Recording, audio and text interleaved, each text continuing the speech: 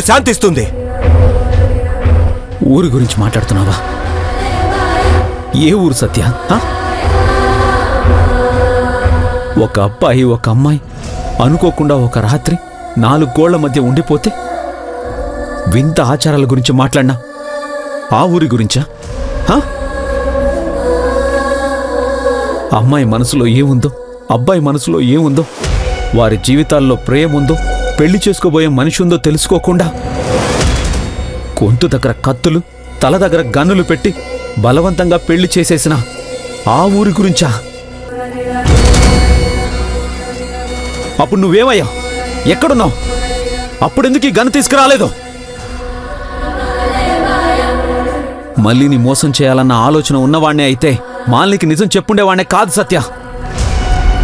నీ మాటల కంటే మళ్ళీ నిజాయితీ గొప్పది.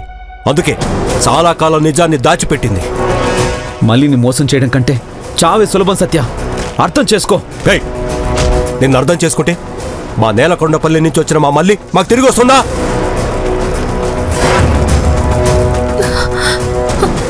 సీతమ్మ తల్లి రామయ్య తండ్రి బాబు గారు క్షేమంగానే ఉన్నారు కదా? బాబు ఎలాంటి ఆపద తలపెట్టలేదు కదా? బాబు గారిని మీరే కాపాడాలి. బాబు గారు! ఎప్పుడూ నవ్వుతూ ఉండేది. ఇప్పుడు ఆ నవ్వు దూరం అయింది గలగల మాట్లాడుతుండేది. ఇప్పుడు మౌనం అయిపోయింది. మా ఊరు వచ్చేయటానికి బయలుదేరిపోయింది. ఒకప్పుడు ఎలా ఉండేదో గుర్తుందా?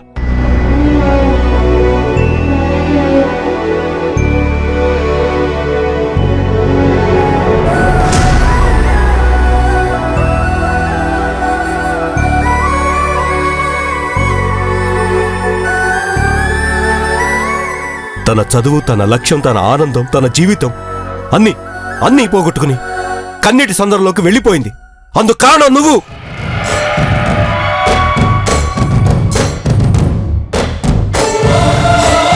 మళ్ళీ నుంచి అన్నీ లాక్కున్నావు.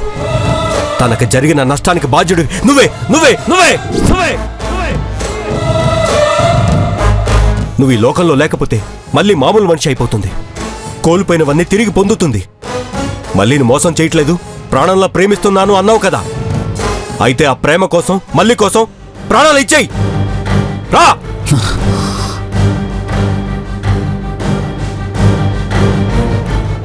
ఆనందాలకు బదులు కష్టాలనిచ్చాను. సంతోషాలకు బదులు నరకాన్ని చూపించాను. దోషిని నేనే. చివరిసారి నిన్ను చూసి క్షమించమని అడిగే అవకాశం నాకు లేదు. నేను చనిపోయిన తర్వాతైనా నన్ను క్షమించు మళ్ళీ. నా ఆత్మ శాంతిస్తుంది.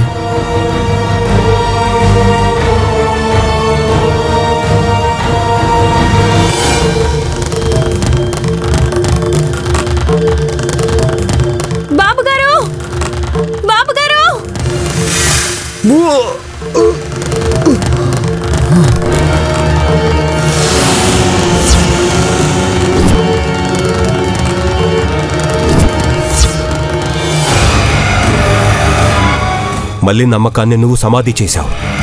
నేను నిన్ను సమాధి చేస్తున్నాను. హ్యాపీ జర్నీ అరవింద్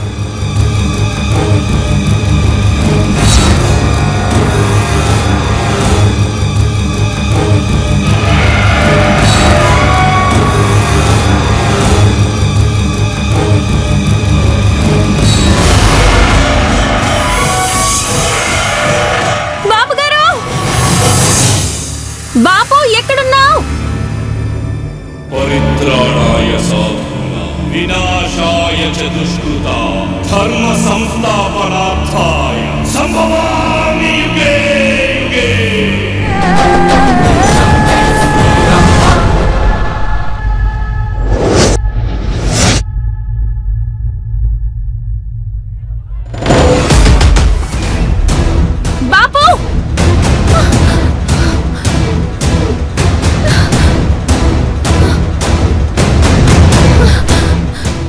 ఎక్కడ బాబు? నువ్వు ఇక్కడికి ఎందుకు వచ్చావు? బాబు గారు ఎక్కడని అడుగుతున్నాను. పెళ్ళాం దగ్గర ఉండి ఉంటాడు అతని గురించి నన్ను అడుగుతావేంటి? బాబు గారు బాబు గారు బాబు గారు నేను వచ్చేసాను. నా పిలుపు మీకు వినిపిస్తుందా?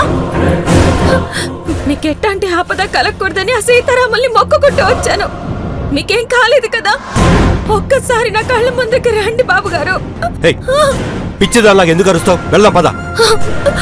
అరవింద్ బాబు గారిని ఏదో చేయడానికి నువ్వు ఊరు నుంచి మనుషుల్ని పిలిపించావని నాకు అర్థమైంది బాపు. బాబు గారిని ఏం చేసావో చెప్పు. నేనేం చేయలేదు. అరవింద్ గురించి నాకు తెలియదు అట్టంటప్పుడు నీ చేతిలో తుపాకీ ఎందుకుంది? మన ఊరి